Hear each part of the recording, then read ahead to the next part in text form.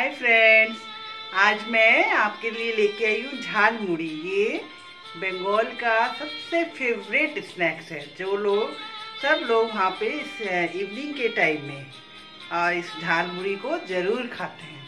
आज मैं आपको झाल मुड़ी में क्या क्या चाहिए हमें, वो बता रही हूँ। ये है मुरमुरा, इसको मैंने हल्का खाली तवे में बिना ऑयल के सेका है। ये है चना हरी मिर्च और ये है स्प्राउट मूंग मूंग, हरा मूंग, ये चना और ये जो चना चोर, जो नमकीन, ये है आलू भुजिया।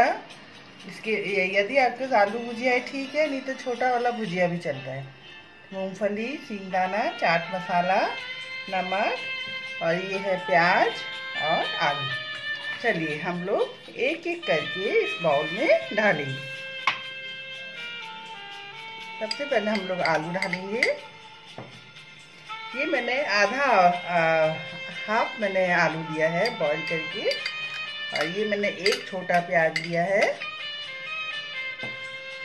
इसमें हम लोग एक एक करके ये चना डालेंगे, ये स्प्राउट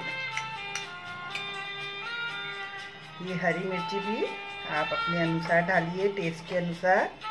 और ये स्प्राउट ये मूंगफली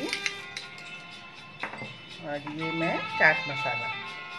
इसको हम लोग अच्छी तरह मिला लेंगे और इसमें मैं थोड़ा नमक डालती हूँ।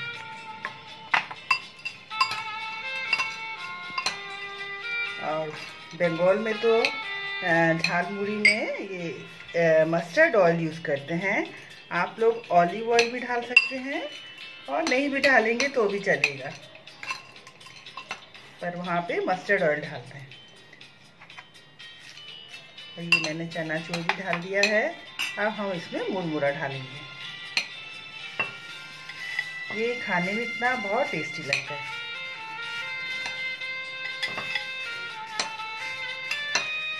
और ये वाला क्वांटिटी दो या तीन लोगों के लिए है। आप बढ़ा भी सकते हैं, ज़्यादा मेंबर्स हो तो घर में।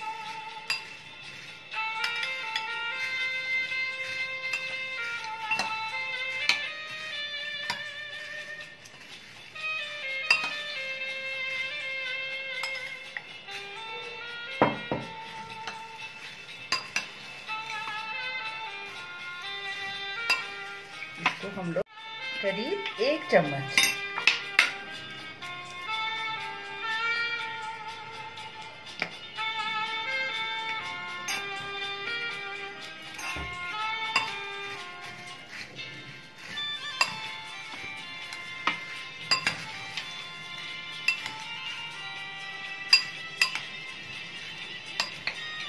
ये देखिए ये हमारा बंगाल का झाल मुड़ी बनके रेडी आप लोग बनाइए।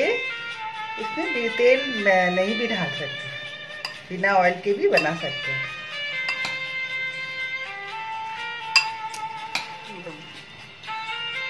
ये देखिए, ये रेडी और आप लोग खाइए, मेरे वीडियो को कमेंट कीजिए।